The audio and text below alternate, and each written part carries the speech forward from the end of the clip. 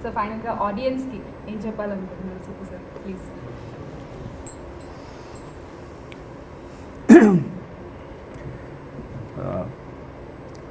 అంటే ఆ, ఇవన్నీ అక్కడ చెప్దాం కానీ ఇక్కడ చెప్పాల్సి వస్తుంది. చెప్పొచ్చు అదే అదే ఒక ఆలోచన అంతే. ఒక వ్యక్తి బ్రెయిన్లో పుట్టిన ఒక ఆలోచన ఇంత మొత్తం ప్రొడ్యూసర్స్ని మంచి మ్యూజిక్ డైరెక్టర్ దేవిని నా ఫ్రెండ్ దేవిని అంటే అందరినీ అందరినీ ఒక చోట తీసుకొచ్చి వి సేతుపతి గారిని ఇంతమందిని ఒక్క ఆలోచన పడే కేవలం. అంటే నాకు రంగస్థలం తర్వాత మళ్ళీ అసిస్టెంట్గా కంటిన్యూ చేస్తానని వచ్చినప్పుడు నేను ఒకటే చెప్పాను పడతాను కూర్చోబెట్టి. నువ్వు ఒక్క ఆలోచన చాలు అది చేస్తే మొత్తం నీ ఫ్యామిలీ కానీ నా గురుగారు చెప్పిన మా గురుగారు చెప్పిన పాయింట్ అనమాట అది చెప్పినప్పుడు. మొత్తం మారిపోద్ది. ఒక కథ చాలు ఏంటంటే అసలు పైసా పెట్టుబడి పెట్టకుండా డబ్బు సంపాదించగలిగిన మేమే.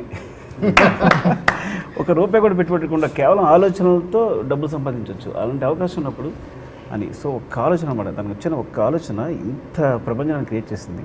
కథ చెప్పినప్పుడే ఒక తుఫాన్ అనిపించింది.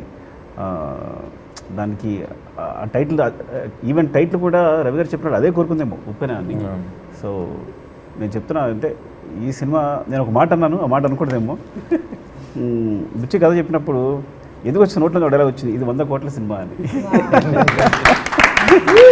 ఫోన్ చేసి రవి గారు చెప్పాడు కథ చాలా బాగా చెప్పాడండి. ఇది వంద కోట్ల సినిమా చూసుకోండి అని అన్నా.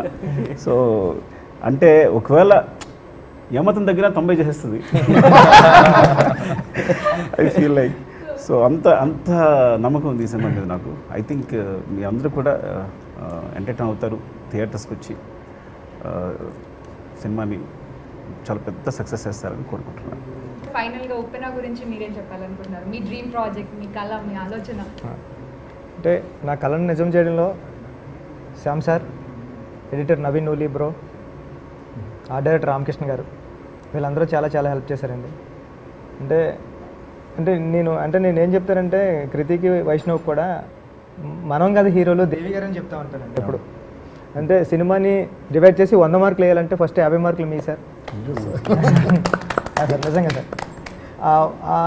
అంటే ఇంకేం చెప్పాలి నాకేం అర్థం కావట్లేదు సార్. అంటే సినిమా చూడండి సినిమా అందరికీ బాగా నచ్చుతుంది. ఎంతో ప్రేమించి రాసిన కథ అండి ఇది.